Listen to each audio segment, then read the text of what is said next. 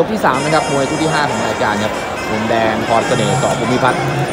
มุมน้ำเงินวันมาวินพุ่มพันม่วงครับโอ้สองยกวันมาวินต่อสามสองเนี่ยเคยชนะมาแล้ว 3 ครั้งนะครับ ทางด้านวันมาวิน ไฟนี้เป็นไฟที่ 4 ครับที่ชกกัน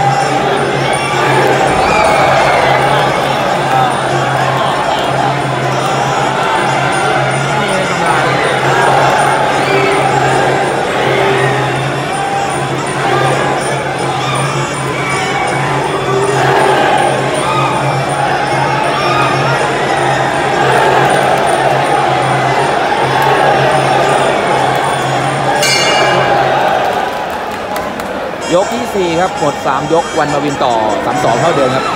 ราคาเดิมเลยครับยก3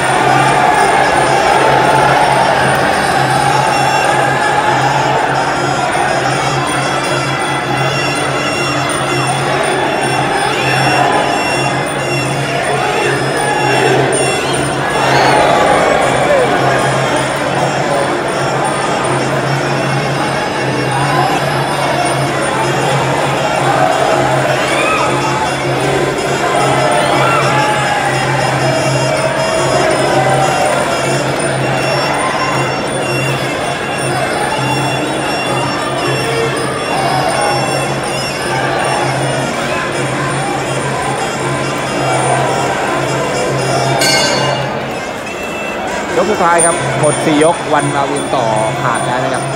ประมาณ 81ครับโดยชนะมาแล้ว 3 ครั้งนะครับ ไฟล์นี้เป็นไฟที่ 4 นะครับ ก็ไม่น่าจะมีปัญหาครับคงจะย้ำแค้นเป็นไฟล์ที่ 4 ไม่รู้ว่าเป็นมวยแพ้ทางกันหรือเปล่าครับคู่นี้ หยุดไปนานด้วยครับวันมาวินอ่าทางด้านพรเสน่ห์นะครับหยุดไปนานครับ ตั้งแต่ได้แชมป์มวยรอบที่ไทยรัฐนะครับ ที่ศึกยอดมวยวันธงชัยก็หายไปประมาณ 4-5 เดือนครับเพิ่งจะกลับมาเป็นไฟแรกกับไฟนี้ทำให้ดูแล้วสภาพร่างกายก็ยังไม่เข้าที่เลยครับ วันนี้สู้หลักสู้เหลี่ยมของวันวินไม่ได้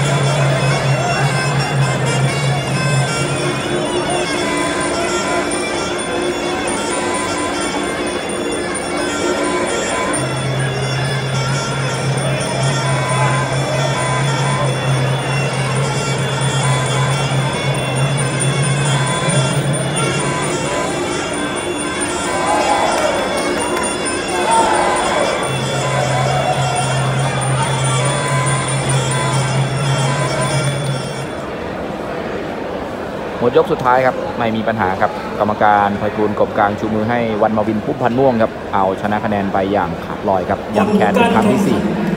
นักมวยฝ่ายน้ำเงิน